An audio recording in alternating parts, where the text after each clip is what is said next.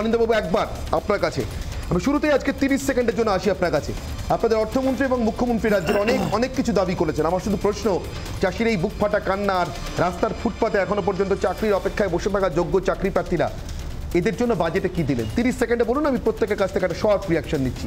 Budget নিয়ে তিরিশ সেকেন্ডে। প্রথমত বলি বাজেট অত্যন্ত ভালো বাজেট হয়েছে এবং এত দেনা থাকা সত্ত্বেও সরকারি যে টাকা সেই টাকা কেন্দ্র দিচ্ছে না তা সত্ত্বেও যে এ বাজেট করেছে সেই জন্য আমাদের অর্থমন্ত্রীকে ধন্যবাদ জানাই। এবার হলো চাষি। চাষিদের ক্ষেত্রে আপনি শুনেছেন হয়তো যে তাদের যে সেচের যে জল সার করমুক্ত করেছে হয়।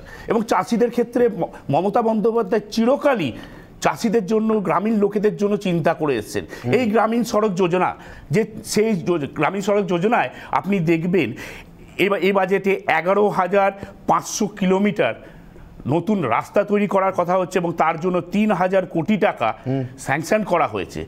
এটা তো গ্রামের জন্য। সেই গ্রামে সেই চাষিটা তার সুবিধার জন্য গ্রামে সেই প্রান্তিক মানুষটা তার সুবিধার জন্য।